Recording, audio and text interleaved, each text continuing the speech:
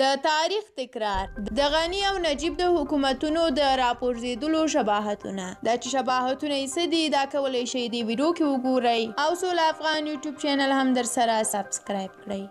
د نولسمې پېړۍ په وروستۍ لسیزه کې د ولسمشر ډاکټر نجیب حکومت راوپرځېدو، د ده مجهز او ځواکمن پوځ اسلامي پلوه جنګیالیو ته تسلیم، تسلیم شو. دا جنګیالي یوه لسیزه د اوو تنظیمونو په چوکاټ کې د شوروي اتحاد پر وړاندې منسجم شوې او جنګېدلې وه، خو د دوی دښمن د خلق او پرچم له ګوندونو سره تر دې هم پخوانی وه. دوی د پاکستان په ګډون د لویدیځ بلاک او ځینو نورو هېوادونو سیاسي او اقتصادي ملاتړ تر شا درلود. د سرو لښکرو له وتلو وروسته دوی د ډاکټر نجیب د حکومت پر وړاندې لومړی له نظامي اپشن څخه کار واخیست. واخیست، خو ډېر ژر یې ماته وخوړله،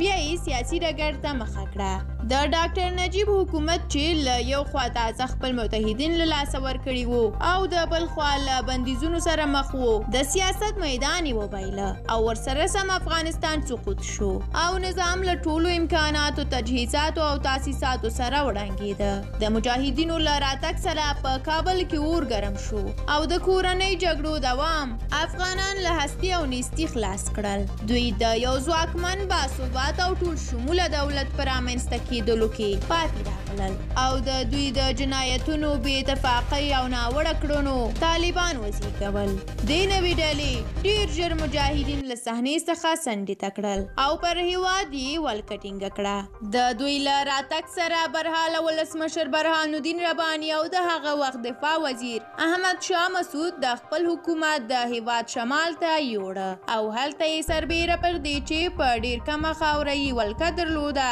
خپل حکومت ته دوام ورکړ طالبانو پر ډیره خاوره ولکه درلوده خو د توندلارۍ له امله یې له نړیوالې ټولنې سره جوړجاړی ونه کړ او تر پایه پورې د نړۍ په کچه له درې هیوادونو پرته چا په رسمیت نه و پیژندلی په افغانستان کې د القاعده شبکې شتون د طالبانو توندلارۍ او له شمال ټلوالې سره د کورنۍ جګړې دوام د دوی هغه تیروتنې وي چې د دوی د امارت د ړنګیدو لامل شوي خو دا سناریو د غني پر حکومت باندې یو ځل بیا کټ مټ تکرار شو یوازې څو ثانې ترې سپې شوې وي کنه نور هر څه د پخوانۍ سناریو تکرار فلم خپرېږي غني خپل متحدین له لاسه ورکړل او ډیر ژر یې د خپلو مخالفینو پر وړاندې سیاسي ماته وخوړه یوازې دا چې د نجیب د حکومت او طالبانو ترمنځ د مجاهدینو رول ډیلیټ شوی او د هغه ترڅنګ ولسمشر ژوندی له هیواده وتلی ورکړی دی. د ولسمشر لومړی مرستیال، ملي دفاع وزیر او ځینې نور چارواکي د مسعود د زوی په ننګه د پنجشیر په غرونو کې جګړه پر مخ بیایي.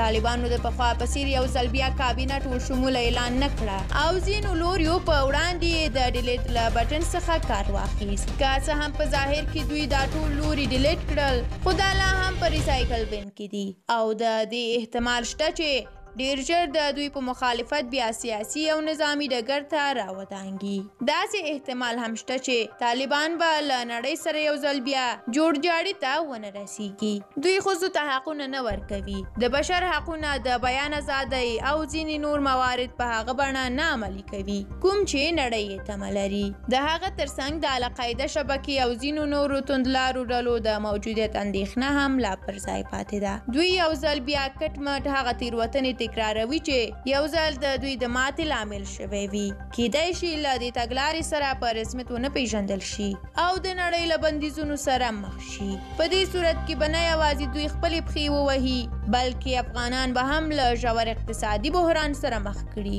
افغانان به سیاست، سوداګرۍ او اړیکې له نړۍ سره د پاکستان له لارې پالي. دا کار به د دې لامل هم شي چې تر څو نړۍ شمال ټلواله یو ځل بیا په رسمیت وپېژني، مرستې ورسره وکړي او یو ځل یې بیا راپورته کړي.